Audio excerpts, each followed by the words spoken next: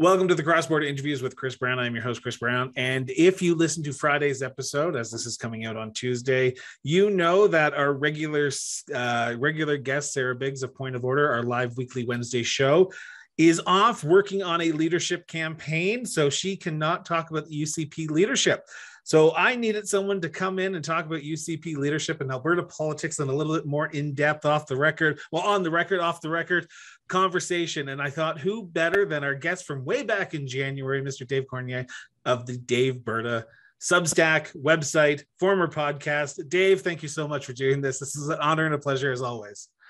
Well, it's it's uh it's a, it's an it's an honor. thank you thank you so much for uh for having me back, Chris. This is uh, I always love talking about I always love talking about politics. So anytime I can uh, exactly. get a get a, a, podcast or a platform to talk about Alberta politics, we can just go on for hours. So I'm not sure your, your listeners will be here in hours hours from now. hey, who knows? Who knows? But um, as I said beginning, we are going to be talking about the UCP leadership because uh, the rules came out, the price tag came out to enter, the rules around when memberships can be sold, the rules around when uh, voting would be taking place came out.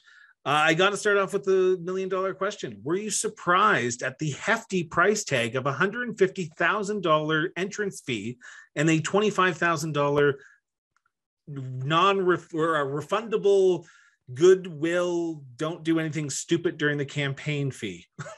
It's a, a, good behavior fee, right? yeah, it's a good behavior deposit.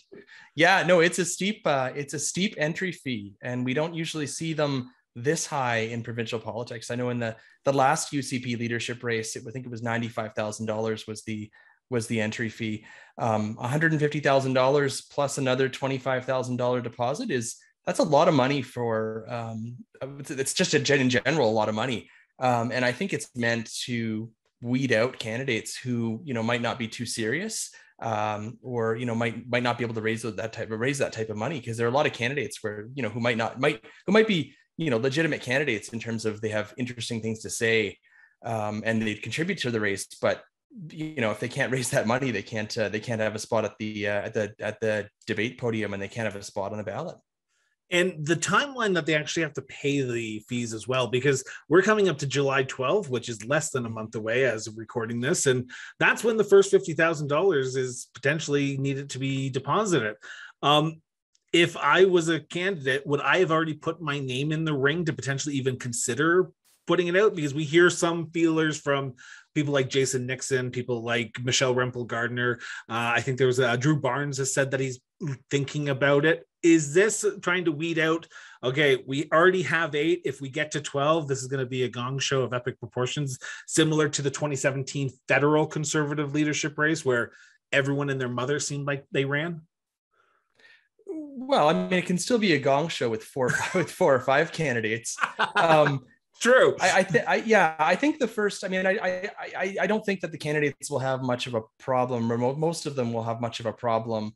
Uh, you know, raising the first fifty thousand dollars, doing the first couple installments. I think when you get closer to the final deadlines, and you'll start to get a. I mean, the candidates will start to will have a better idea of where they are in terms of fundraising, and also the candidates will have a better idea of where they are for membership sales. Mm-hmm. So you know, it's a crowded race right now, but you know, we're going to start to see, and you can kind of see it right. You can kind of see the different kind of tiers of candidates right now as the race is starting. But as it goes on over the summer, we're going to start to get a better idea of who the who the front runners are, who the you know the the second place or the second tier candidates are, and and that's when the when the you know and if they do stay in the race and if they are able to make those uh the make those uh those um uh, uh, uh entry fee deadlines um, you know, we'll start, you'll start to have some discussion around, well, whose second place votes go to who, right? Because it's a preferential ballot. So it's a first, it, I'm, I'm, excuse me if I'm skipping ahead in the, in our, our discussion about this, but it's a one member, one vote yeah. um, race, right? So, but it's a preferential ballot. So when, uh, when a, uh, a member goes to vote, whether they go vote in person or they vote through the mail, they're going to choose their first, second, third, fourth candidates. And then the, the, the candidates with the, you know the least amount will get knocked off and then their votes will be redistributed until one of the candidates gets more than 50% of the vote and this is the same way that the federal conservatives actually vote as well. It's sort of a cousins are working together here because I was I was at the Brian Jean event in Calgary last week, and uh, I was talking to one of his organizers, and they were saying basically what they did was took the rules from the federal leadership and they just like copied and pasted and put it into the provincial leadership race. So this if you're looking at the federal race it's the exact same but a little bit scaled down for memberships and timeline compared to the federal one mm-hmm. that started a few months and, ago. and and no point system right? Oh thank god. Yeah. Thank god. This is I, just a, this is just a one member one vote. So yeah. it'll be interesting to see where where the memberships are sold. I mean we saw in the in the ucp leadership review that happened last month um, there was uh, a membership list that was leaked. I think it was to CBC. Jason Markusoff wrote, wrote an article about it, and they had a uh, uh, a really an interactive map that showed you know with the ridings of the province, and you could see where the most members of the UCP were, and it was a very rural dominated, rural heavy membership vote or membership vote. Uh, in the UCP leadership race, and and not as much in, in the urban areas, which which was surprising because when you go back to the old the days of the old Progressive Conservative Party, uh, you know, the PCs would sign up a ton of members in rural Alberta, but they'd also sign up a ton of members in the in the urban ridings too. So, you know, who shows up to vote, uh, and and you know who who the who the membership base of the UCP is in this this leadership race will will uh, will define. We will no you know no surprise. We'll define what the outcome is, but it'll be interesting to see who exactly is voting and who's participating in this race. Before we talk about the candidates here a little bit more in depth, I, have been I've been pondering a question that I've been trying to get someone to answer for me, and hopefully you, being the guy who's followed Alberta politics for a long period of time, can answer this. Jason Kenney won the technically he won the leadership review with 51.44%. He resigned. Does this give the next leader of the UCP a goal to beat that 51.4% in this vote that is coming up in October? Because if I'm a leader and I'm going in, and if I get 51.2%, less than what Jason Kenney got, and he says he has no mandate to govern, does this not put a target on these uh, candidates back to say, I need to get 60 or higher, or I'm screwed going in because we're still a fractured caucus? Yeah, yeah. I mean, I think that I hadn't thought about that, but yeah, that's uh, uh, that would be kind of a. It might be. I mean, people would the, the chattering class. People would definitely be talking about it if if the if the winner got fifty one point four or less than fifty one point four percent of the vote on in, on the uh, on the final ballot. Um, I mean, I think if you're, you know, if you're running in this leadership race, you're running to to win no matter what, and fifty percent plus one in in this context yeah. means that they become the next leader and the next premier but you know having a decisive win is definitely something that that uh, that would quash those kind of uh, that that kind of commentary and and quash questions about whether the whether the UCP is uh, is you actually a united conservative party or not. But but the more people you get on the ballot, the you know the harder to harder it's going to be to kind of win decisively like that. Um, uh, especially if there's kind of two or three really strong candidates and the and their second place votes votes are all kind of split all over the place it there is a lot of unknown candidates in this race. Um, and I, I, say that, and I'll explain what I mean by that in a few seconds here. But um, in the federal leadership race, you have four people who are relatively known besides Roman Baber. Let's just leave Roman off the table here for a second. You have Leslyn Lewis, you have Patrick Brown, Jean Charest, and Pierre Poilievre. Scott Aitchison, okay, Atkinson, however you pronounce his last name, he's he might be well known in Parry Sound, Muskoka, not outside of that.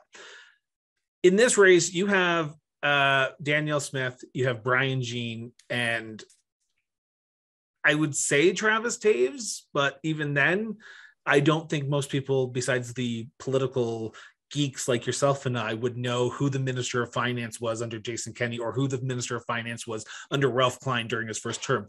The, usually in provincial politics, you worry about who the premier is, and that's about it.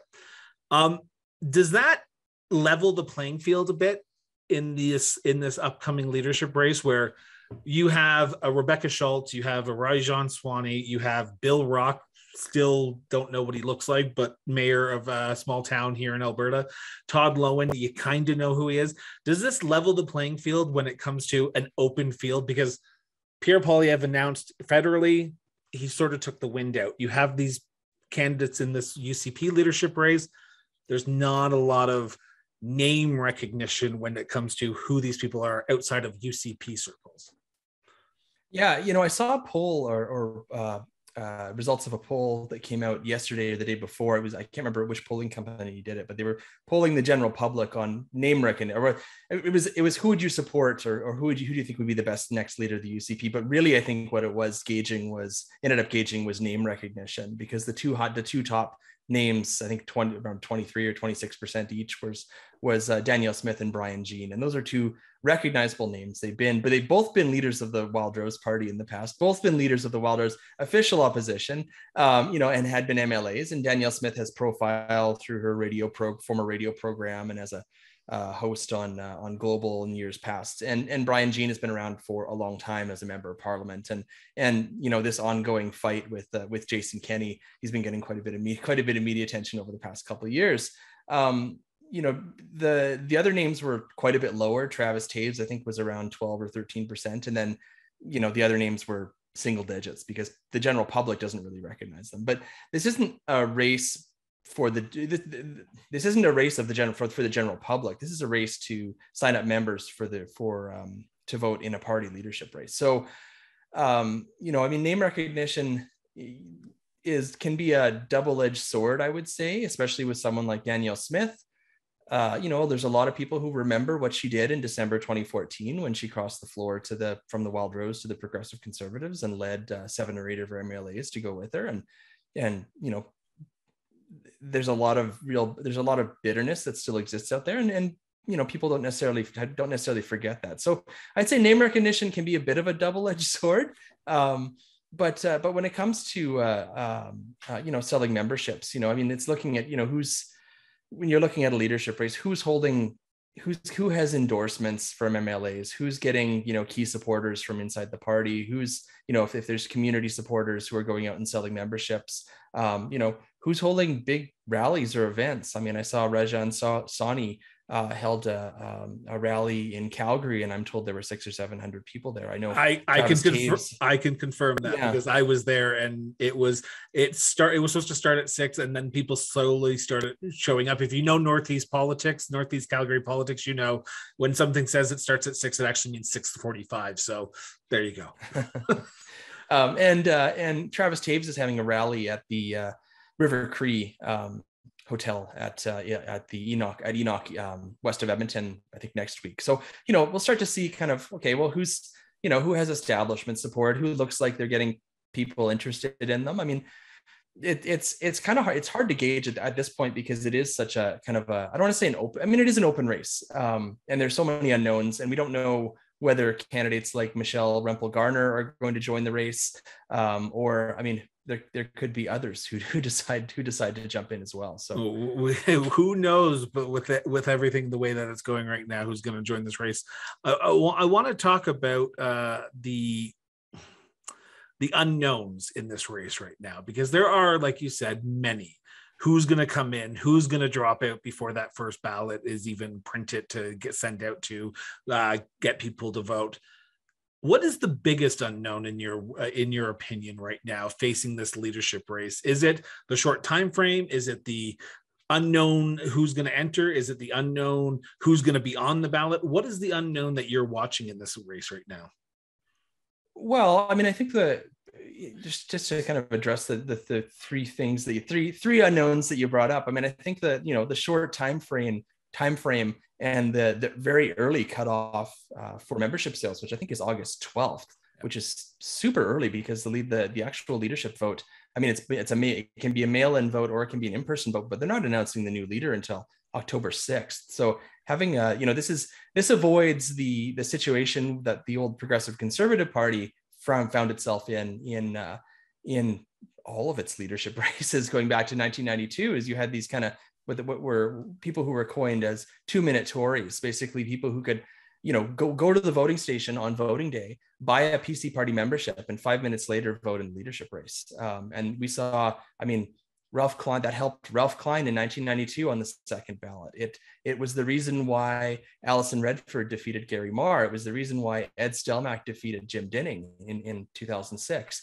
Um, this the leadership rules that the UCP has created isolate kind of, i think they're designed to isolate the party establishment from that sort of phenomenon to have this whereas the pc party used to make pc party supporters used to make this argument back uh, you know 15 20 years ago that the, the leadership race was the real election because the pc party had such a hold electorally. There wasn't a competitive opposition party. That this was the this was the way albertans could directly choose the next premier of alberta and it was the most democratic way and and it was the real election. And i mean i roll my eyes thinking about it. But but that was that was the argument. And and legitimately like that was kind of it was kind of true at the time.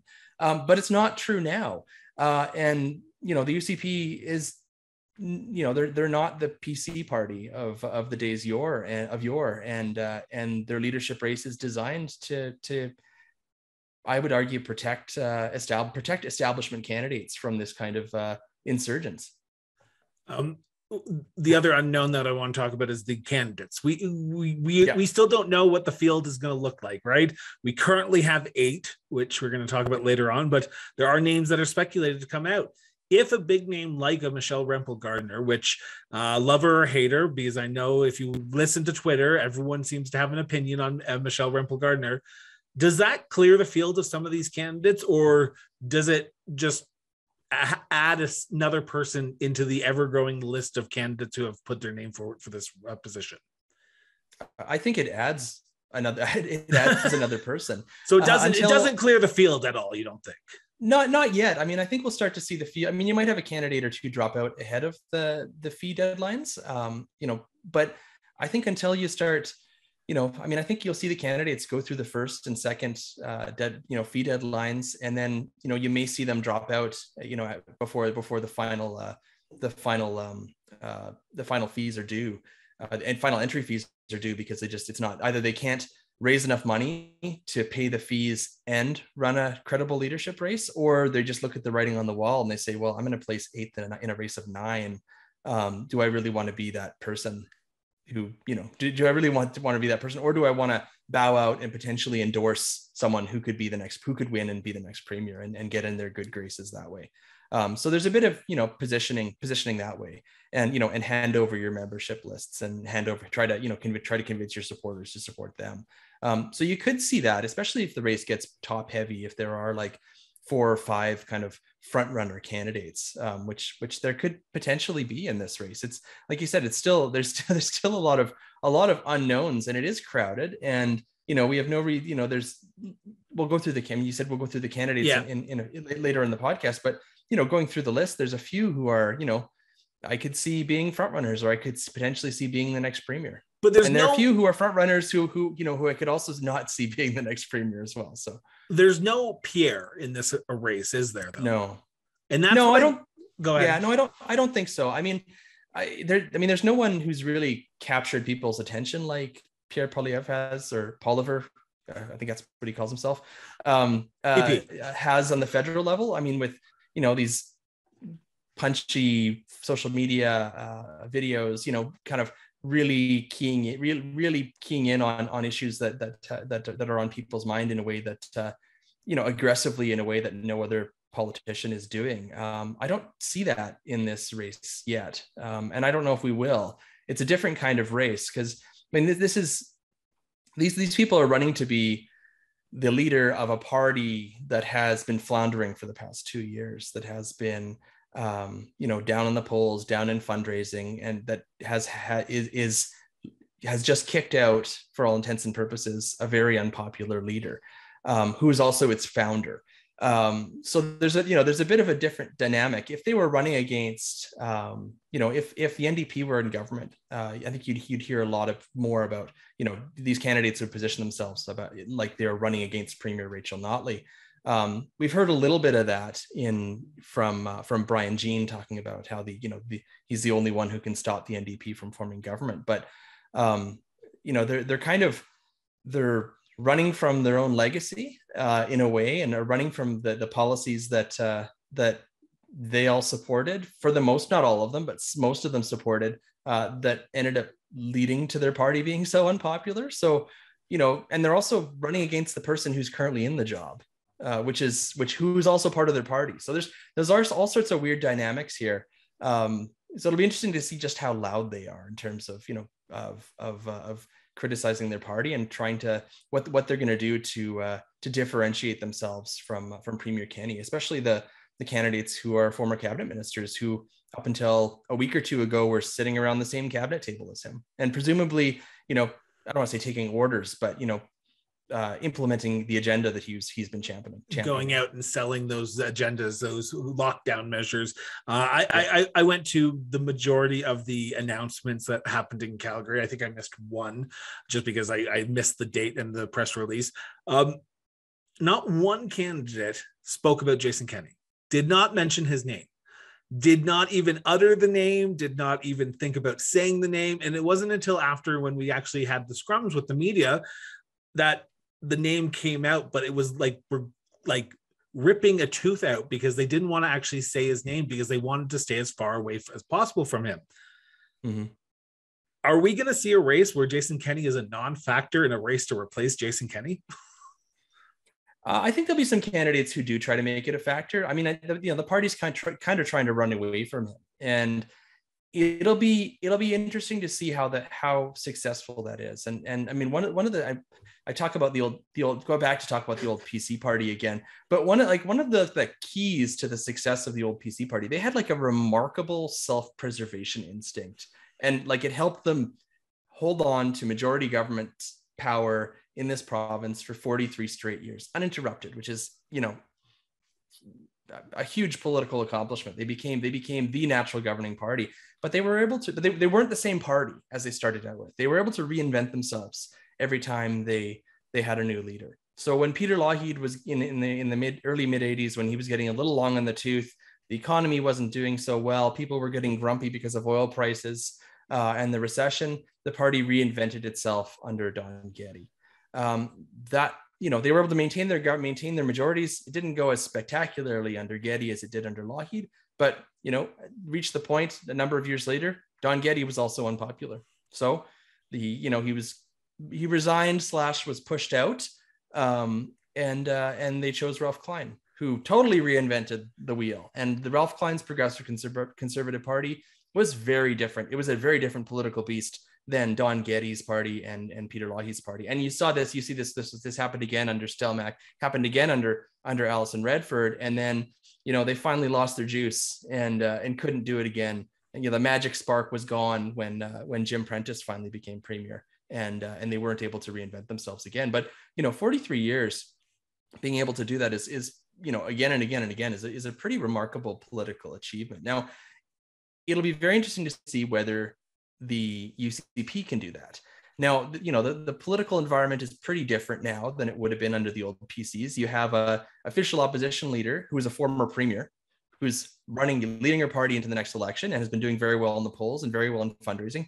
That is very different than any other case. I mean, the last, uh, you know, the last, I mean, they've never, I don't think we've ever had a former premier run in this province, lead a party into another election after they lost the previous election. I mean, Harry Strom resigned yep. when uh, when the PC party won in 71 and Jim Prentice resigned, as we all know, on election night in, in 2015. So, um, you know, it's having, you know, you're going to have to find someone who, uh, you know, who, who, uh, you know, can, can play, can reinvent the, the, reinvent what it means to be a UCP government in, in, uh, in that kind of electoral dynamic where you do have an opposition leader who's, who is who can walk into the premier's office and be premier tomorrow because she's done it before and does have MLAs in the legislature who have been cabinet ministers before and will know how to do it again. This isn't like 2015 where the NDP walked in and, you know, didn't know any of the passwords and didn't know where the washrooms were. And, you know, but, you know, because it was such a shock that they'd yeah. won. Um, you know, these are people who have been cabinet ministers before and, and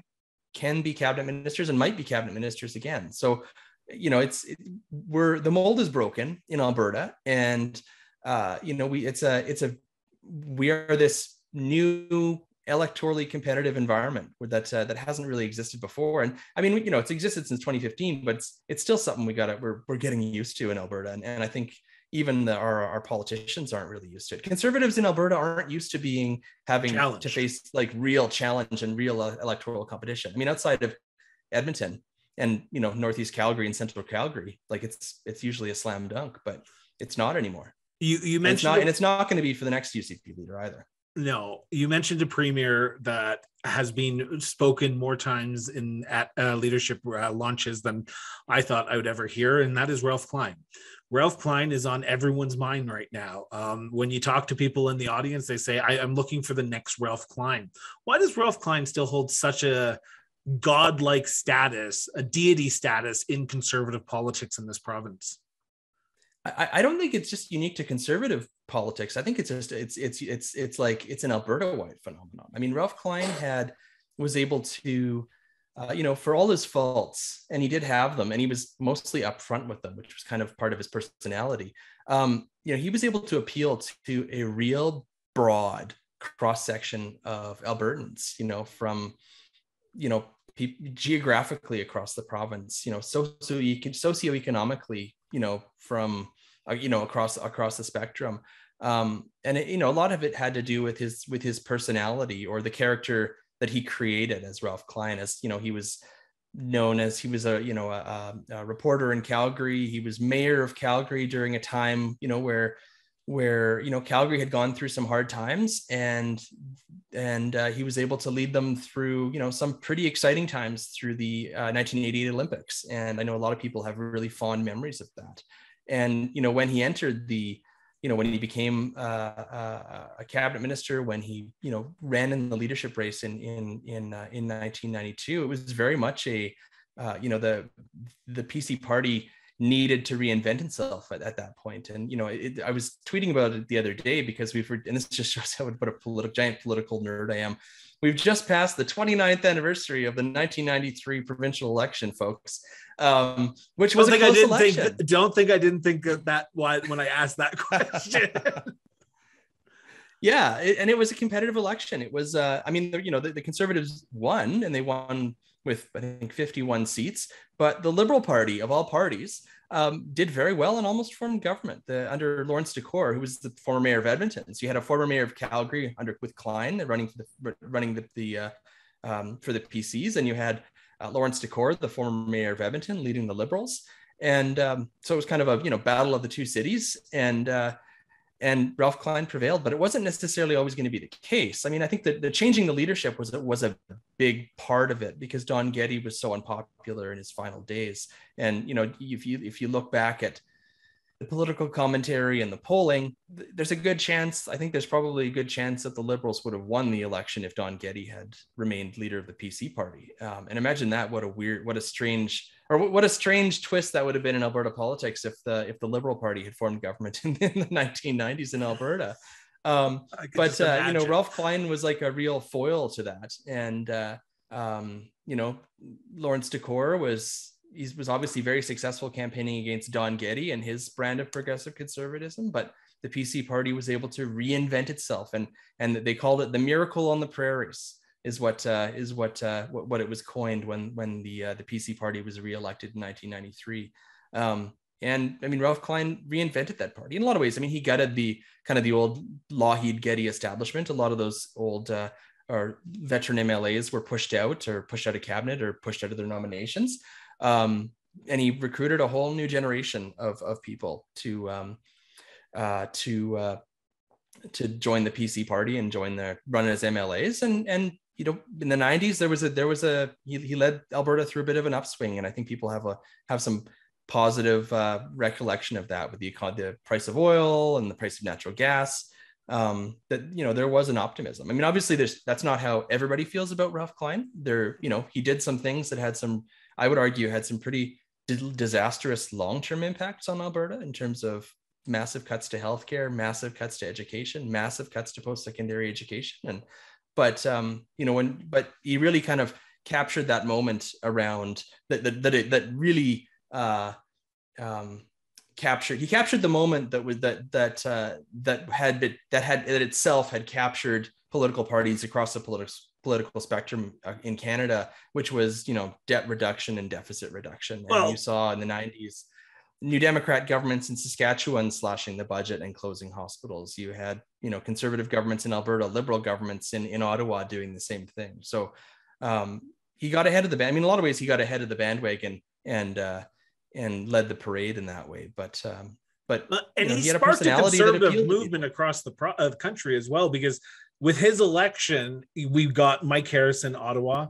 We saw more conservative uh, premiers out in Atlantic Canada. So Ralph Klein was kind of the spark that lit the match that was the conservative movement slash the, like you said, the slash and burn kind of uh to slash and burn to your budget where we got to keep uh, prices down which we're not seeing right now we're seeing the complete opposite so it mm-hmm. is Ralph Klein is while he's an Alberta politician you talk to Ontarians, and I was there a few weeks ago, and they they know who Ralph Klein is, and I mm. guarantee you they probably don't know who Ed Stelmach is or Alison Redford is. So Ralph Klein is nationally known, I would say. So I agree. Yeah, yeah, and and he also won big majority governments mm. after after that. So you know the, the after he left the PC party it was pretty it was pretty chaotic after that. I, would say after the 2001 election it ended up being pretty chaotic. And that was actually it was it was uh um kind of ironic because that was the you know welcome to ralph's world election. That's where he stood up on stage and you know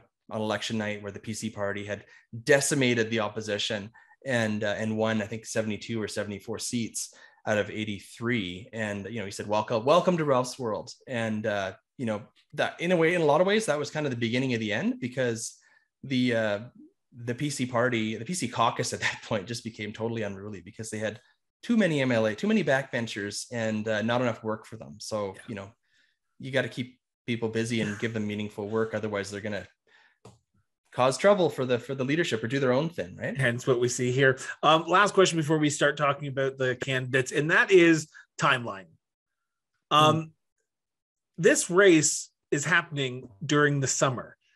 I'm not sure about you, but not a lot of people are paying attention to what's happening in the political realm while they're out in Kananaskis, while they're out going to Drumheller. This is going to be a very sleeper of an election, a leadership race, and that's just me saying that. That's that's just my observation because you don't capture the people who you want to go out to your rallies to buy memberships it's harder to do that, particularly when the cutoff is August 12th. Is this going to be a hindrance for the candidates while they're trying to crisscross the province, try to sign up members and try to make sure that they come out and actually sign up? I think, I mean, I think it'll be a hindrance for some candidates. And I think it's, I think it, in a way it's designed to kind of weed out the less serious candidates or weed, weed out the weaker candidates. Um, you know, there's still all of July. There's Calgary Stampede. There's um, I can't remember when the Ponoka Stampede is organized is uh, is being held, but there, you know, these there are big events in Alberta within these windows where you know you're going to see conservative can these UCP leadership candidates show up with cowboy hats. You know, some of them will look a little more comfortable in cowboy no. hats than others. No. Uh, you know, it's it's uh, it's political cosplay season in in, in Alberta. Um, so there, there there are big events. It is a short timeline, but I think you'll I think you'll end up seeing uh, the candidates will hit the barbecue circuit. Um, you'll probably have UCP constituency associations organizing fundraising events for leadership candidates to attend and and uh, and meet members and speak to members. And and the candidates will be holding their own kind of pop-up events and and rallies and barbecues around around the province. So i don't know. I think yeah people go on vacation and people don't really want to pay attention to politics but I, you know summer's I think summer's kind of a fine time to to to hold something like this because people are out, people are outside and and uh, and doing stuff. It's not like uh, it's wintertime and you know people don't barely want to leave their houses if it's uh, if it's too cold. Uh, I, I, will agree to disagree. I think it's going to be it's going to be what okay, I'm watching. That's for. fine.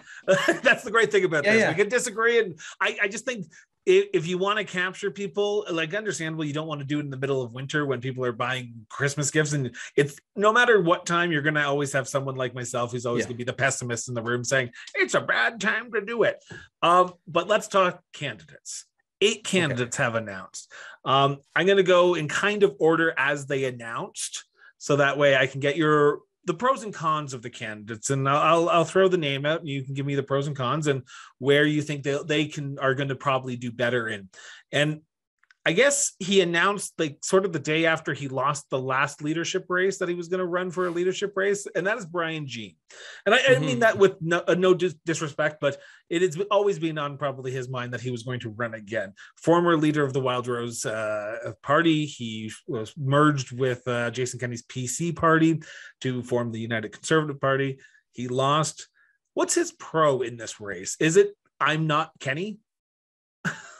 well, I mean, I'm not Kenney as a pro for uh, anyone for, for, for all of the candidates at this at, at, at this point. I mean, the you know, I mean, Brian Jean, the the golden boy of Fort McMurray, uh, you know, he's been running against Jason Kenney since uh, since the uh, the last UCP leadership race, since he lost the last UCP leadership race, and he has a you know he has a grudge. He had he had he had a revenge motive to go after Jason Kenney. I mean, we we we all know the the RCMP apparently are still investigating the Kamikaze campaign and everything that happened around that. So you know he was you know whether whether or not he would have won the race anyway if it were a fair race, I don't know back in 2017. But I mean, I think he was he was legitimately wronged and he had some grievance and and he thinks he can do a better job better job. And he returned to politics basically for the sole purpose of, of defeating jason kenney and uh, and running in this leadership race. So his his intent i mean to get i guess to give him points he's not playing coy. His his uh, his intent has been clear this whole time.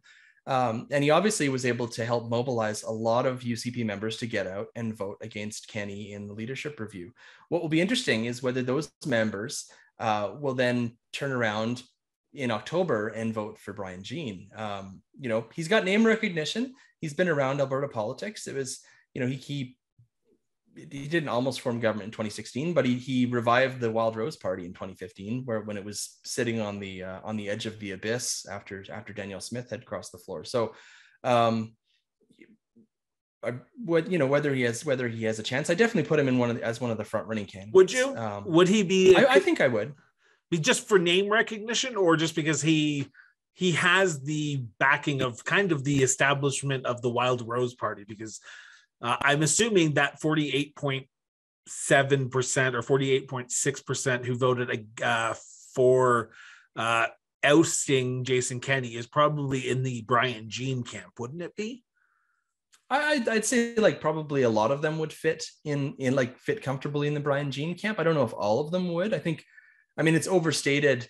Um, it might be a little over. I mean, we overstate what the reasons were why for why people voted against, voted against Jason Kenney in the in the leadership review. There were a lot of reasons. I mean, the the the reasons that Brian Jean was talking about are, are certain was certainly part of it, but um, and I'd imagine that a lot of them would probably find probably be comfortable. But we're also talking about like in the UC, in the UCP leadership review, review that was a like a, a, relatively small number of people compared to some of the leadership races we've seen in this province. I think there was only 30,000 people who ended up voting in the leadership review. I, I would expect, and you know, I it's a big problem if they don't have more than 30,000 uh, people voting in this uh, in this leadership race. I would expect it to be higher than I don't know what the number is, but I would expect it to be higher than 30,000.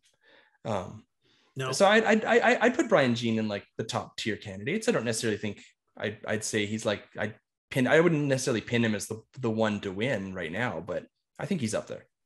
So the next person that announced was at the general meeting in Red Deer while Jason Kenney was speaking on stage. She was giving an interview, if I'm not mistaken, to the Western Standard, where she said, "If Jason Kenney loses, I'm running for the leadership," and that is other former Wild Rose leader turned yes. progressive conservative MLA, Miss Danielle Smith. Um, she has some baggage that she probably has to deal with would would she be considered a front runner even with her baggage? I, I have a hard time. I, th- I, think Danielle Smith is a serious candidate. Like I think she's taking this seriously, but I I have a hard time seeing her as a front runner candidate in this race, even with her name recognition. I think that there are a lot of conservatives in this province who still, you know, who who will not forget what happened in uh, in 2014. We'll not forget the floor crossing. And do they blame her for electing an NDP government? Do you think? I think some of them probably do. Okay. Um, I, I don't think it was. You know, I think Jim Prentice had a lot. I mean, I, she helped create the circumstances the, yeah. the that that helped elect the the NDP government. I don't know if she if I don't know if she had still been Wild Rose leader going into the 2015 or 2016 election if they'd you know respected the the fixed election date. Um you know maybe the ndp would have would, would have won anyway. I don't i don't know. I think that there were in 2015 there was just such a like a unique series of of circumstances you know. Jim prentice ran a fantastically horrible campaign and rachel notley ran a fantastically excellent campaign and you know there was a mood for time for change and the economy was crashing and people were grumpy and it all kind of just it was the right magic at the right time. And i don't know if you could re- i don't know if you could recreate that if danielle smith had been the wildrose uh, leader at the time. Maybe she would have been become premier after that point or or uh, or maybe not. Um, but yeah I, and i think she's you know following her her email new popular email newsletter that she sends out and you know her some of her comments in her final days as uh, as a host on uh, on the Corus uh, radio network, I think it, it, seemed pretty clear that she's shifted, uh, you know, a little far to the right, pretty far to the right on some on some political issues. And I think as Wild Rose leader in, in, in her final years, I think she was really trying to position herself as a more moderate conservative and and you know to the to the angst of her party and uh, you know in, in a lot of ways it was her own the, the wild rose base that pushed back uh, against her um, become you know trying to position them as a, as a, as a more moderate uh, conservative political party. So i i wonder if she in terms of like the who, who's voting in the leadership race i really wonder if she's competing like if there's like a pool of of kind of people who fall into the kind of covid anti-covid public health measures anti-maskers um, conspiracy theorist types I wonder if she's competing with other candidates for the same votes. And I'm thinking people like Brian Jean, who's kind of toyed with that, and and uh, and Todd Loewen as well, who um, infamously, uh, at least in some in political circles, took drove his motorhome to Ottawa to join the uh, the convoy slash occupation. Um, do, by having two former leaders of the Wild Rose, does this hurt both of them at the same time as well? Because that's always what I've been thinking for the last few minutes, the last few days is having two part two leaders of the, the once Wild Rose Party.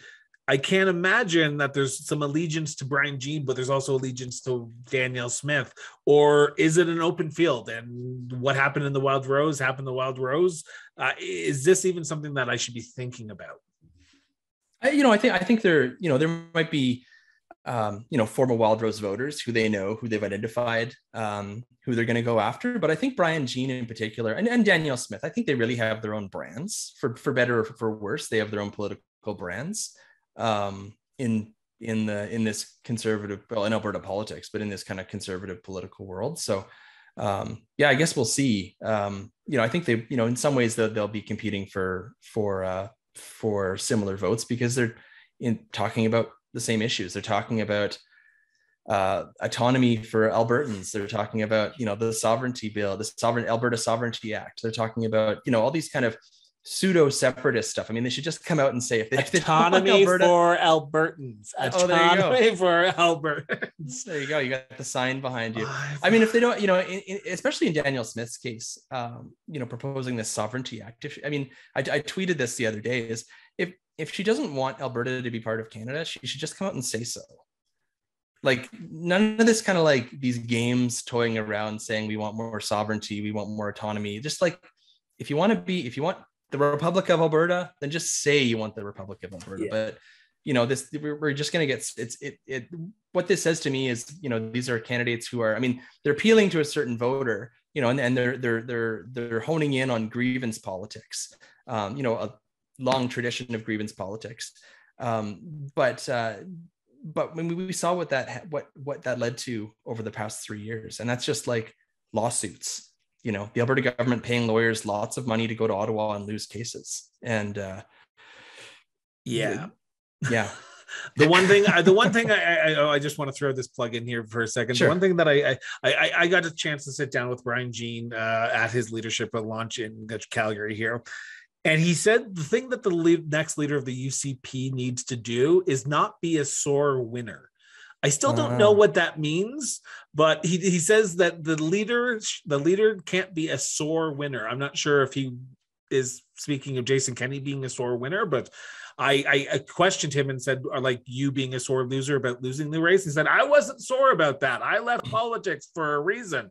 So I still don't understand that, and maybe he maybe the next leader is not going to be a sore winner. And I just want to shamelessly plug that for a second I, here. Yeah, no, I, th- I think I think that's a, that that's that's interesting. An interesting comment from Jean, and I think that's probably a good point. I think we could use a dose, and if this is what he means, I think we could probably use a dose of humility in Alberta politics yeah. from our leaderships. And I don't think that I mean, humility and Jason Kenney are not two words that I associate with each other. And and you know, they they won a big majority, but you know, you kept on hearing them talk about how they won a big majority.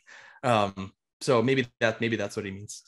Um, I, I, know I said 45 minutes. Do you have a few more minutes to chat? I do. I do. I do. I do. okay. I, I know. I just saw the time. I was like, oh, okay. Okay. Um, we'll try and do these as quick, quickly, quicker though, because sure. we're getting, we're getting into the lesser known candidates now. And the next one was Bill Rock, mayor of uh, Ashtok, if I'm not mistaken. Am, am, am, Amisk? Amisk? Is either Am, Amisk or Amisk. Okay. Um, I didn't know who this gentleman was before he announced. Um, I, I again don't know what he looks like. Factor in this race is he running to say something because he's in uh, Nate Horner's riding Drumheller Stettler. so this is not a mm-hmm. riding he's going to potentially run for the nomination. Yeah, I you know he he ran for the Wild Rose Party as their candidate in as a parachute candidate in 2015 in the Camrose, uh, Wetaskiwin Camrose riding. Um, he's I, I read I read a, read a couple articles where he's been interviewed. He wants to put rural issues in the spotlight, but I mean, from what I've seen from his social media, he's talking about things like protecting the ability of uh, protecting the right of police to wear thin blue line patches and stuff like that. So he's obviously taking a very kind of like right wing populist online meme type uh, uh, position. So I don't I don't necessarily I don't think he's going to be much of a factor in this campaign.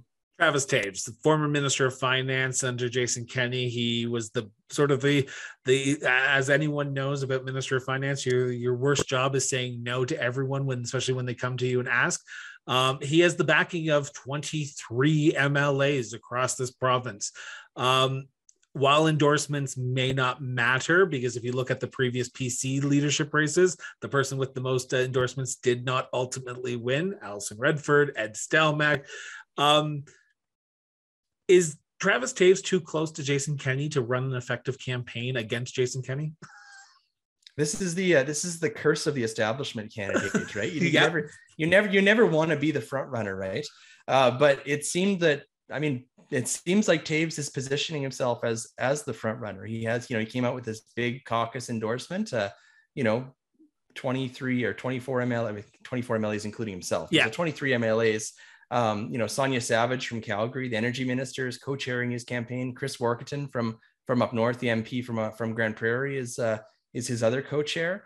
Um, you know, he has endorsements from people like Tyler Shandro and Shane Getson, which is kind of a mixed bag, but there's also a, a whole bunch of other, you know, UCPMLAs with uh, with less offensive political uh, political records. Uh, uh, Jonathan who, who have, Denis endorsed, endorsed him oh, as well.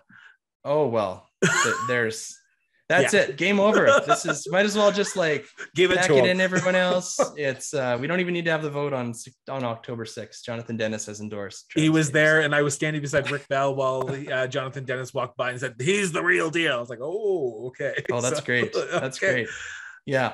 Yeah. Well, so being the establishment candidate, you know, brings people brings people to support you, like like Jonathan Denis. Um uh is he yeah, is he I mean, the perceived front runner right now? I think so. I think so. And I mean Toews is a to give to give him credit, he does sound like compared to like a number a lot compared to a lot of his colleagues in the UCP cabinet, he sounds like an adult when he talks. He doesn't get involved in these kind of weird political games that people like Shandro and Adrian Adrian Lagrange will get. These political games um, he's kind of at least public, I mean, publicly. So he's publicly kind of stayed out of this stuff. Um, and uh, yeah, he sounds like an adult. He looks like he looks like he's comfortable wearing a business suit, and he looks like he's just as comfortable wearing coveralls and rubber boots on his farm. Uh, so, so you know, th- this is my. You know, he, he, he's he's not going to look dumb riding a, a horse in the Calgary Stampede Parade. True. I want to I want to I want to just say this before we move on to the next one. I, I like I said I've gone to many of the leadership uh, race yeah. announcements, and I, I've talked to some of the staffers of these political candidates, and I've said, "Who's your biggest challenge?" And they they talk about some of the candidates, and they talk about Toews and whenever the conversation goes to Toews is as long as Toews shows up without having mud on his shirt, then he might actually be a credible candidate. And this is harking back to that leadership launch photo where there was either mud or cow manure or whatever on his uh, shirt. And mm-hmm. the other candidates, staffers, are saying, "Oh, he's he's disqualified himself because he didn't look oh, professional." Oh, it's like, really? That is that is such inside baseball. Nobody cares. Like, exactly. come on, people. Like, thank you. It's probably a bonus. Like, you know, yeah, like you said, he looks yeah. like he's comfortable wearing a, a, business suit, but looks comfortable wearing a cowboy hat and overalls downtown Calgary. So yeah, he's yeah. a farmer. Um, yeah. Todd Loewen. I think, I think I think he's going to be running from Kenney because he is Kenney's cabinet. He is Kenney's finance minister, and he's been implementing Kenney's agenda. Um, as far as we can tell, happily implementing Kenney's agenda. So there, you know, he's he is open open to to criticism. That on on top of that. This, uh, just right around the corner from Grande Prairie Wapiti is uh, Peace River Central Notley, if I'm not mistaken, is the riding. Former former UCP MLA, former Wild Rose MLA, now turned independent MLA because we're still not sure if he's allowed back into caucus or not because Jason Kenney's still there. But Todd Loewen, um, I what do I say about Todd Loewen? What's your thoughts on Todd?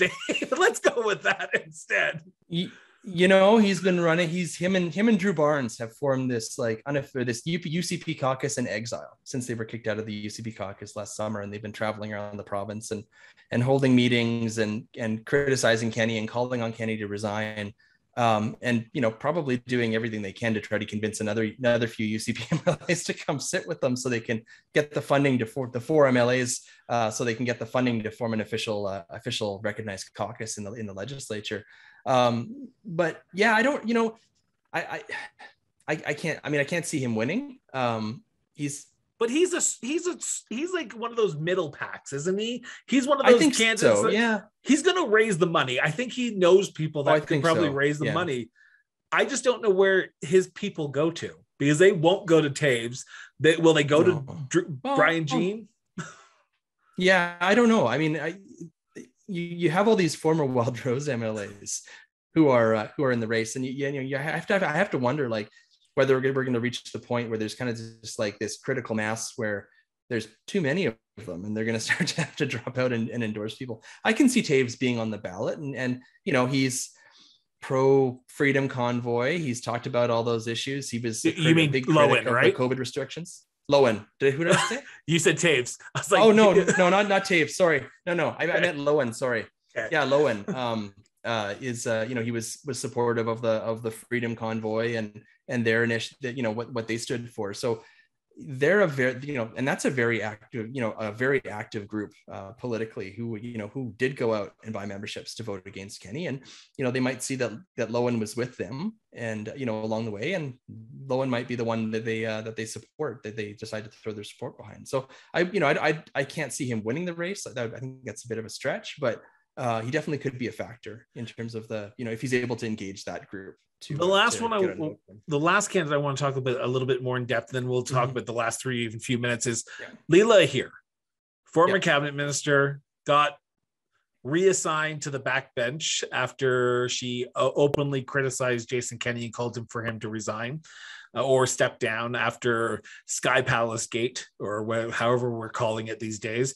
Um, she is kind of the hidden leadership race in this whole thing, in my opinion, because I, I I know the campaign manager who is running the campaign, and I've said openly to her, I'm a political nerd. If I can't find your leadership announcement on a website or on your social media, it's it's scary. So, what's your opinion on where Leela Aheer is going with this leadership race?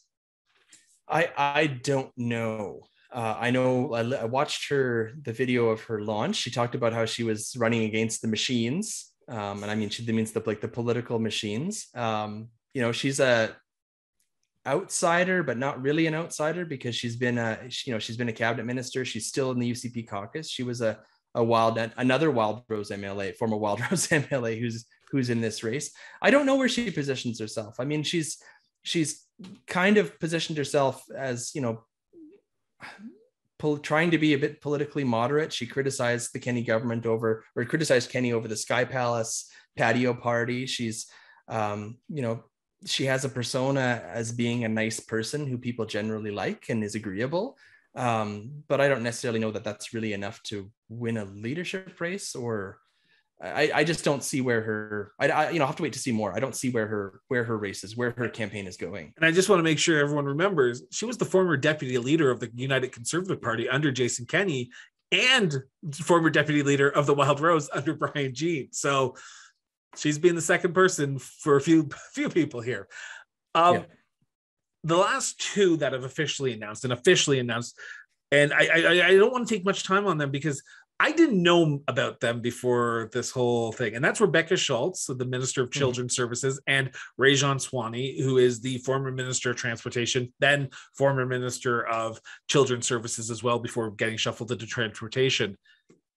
What's Rajan's uh Rajan is northeast, uh Rebecca's down south. What's your thoughts on these two? Because when I went to their leadership race, the first thing they said was, I was at the cabinet table, but I wasn't making the decisions at the cabinet table. And I went, wait, what? So what? Okay, go ahead. Yeah, this this is the whole, you know, I was there, but but I was really I was I was I was, I was with them, but I was really against them kind of thing. It's the you know, you, I think you're going to see a lot of this in uh, in this leadership race is is candidates trying to reinvent the you know rewrite rewrite the history of of uh, uh, or their their their part in the history of of Jason Kenney's UCP cabinet. Um, you know, and there'll be varying degrees of success. I think these two candidates are actually ones to watch, and I think they're quite interesting. Really? I yeah, I do. I think I think Rajan Sawhney. I think you know she's not a very well known political name. She doesn't come from a political background, but uh, from what I hear, she's well respected in uh, in ca- among her cabinet colleagues. Um, a, a, year ago, when I was asking MLAs uh, around, you know, who or who should I be watching? Who do you think? Who are you watching? Who do you think I should be watching?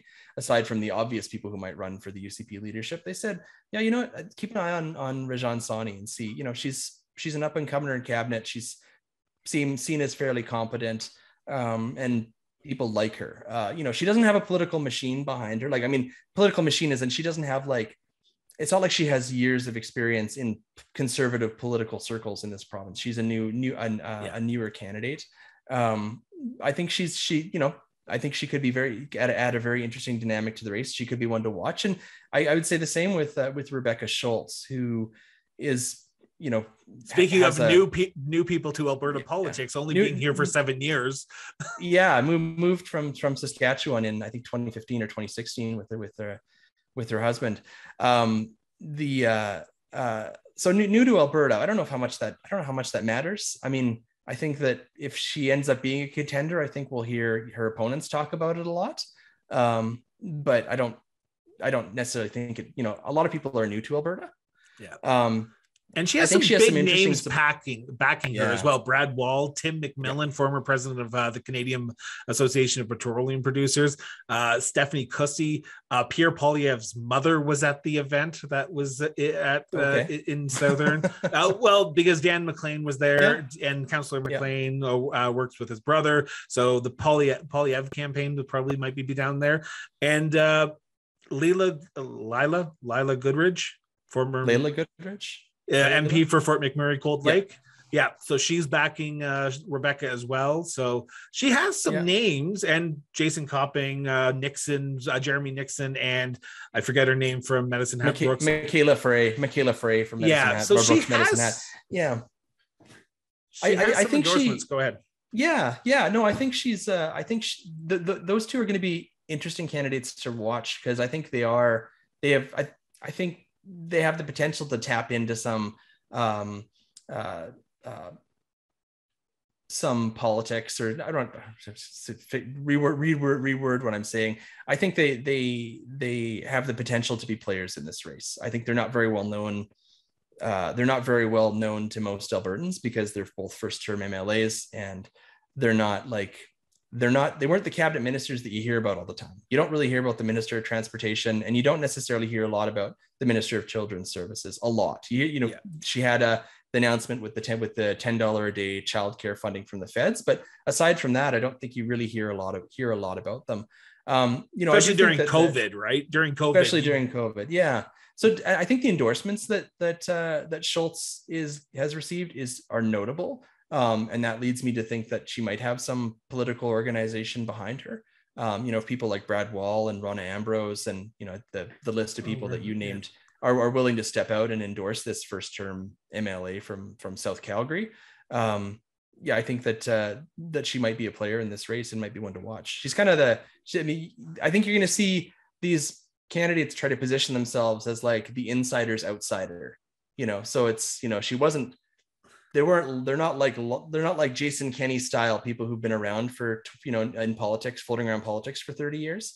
Uh, but they're you know they've they have experience in cabinet but they're still kind of they can they're going to try to position themselves as outsiders because they're they're newish to to alberta politics last candidate before we wrap here, and that is the candidate who has announced but not officially announced that she might be seeking, but potentially looking at seeking the nomination, and that is the other white knight that Alberta politics so desperately need after Jason Kenney and Jim uh, Prentice coming from Ottawa, Miss Michelle Rempel Garner.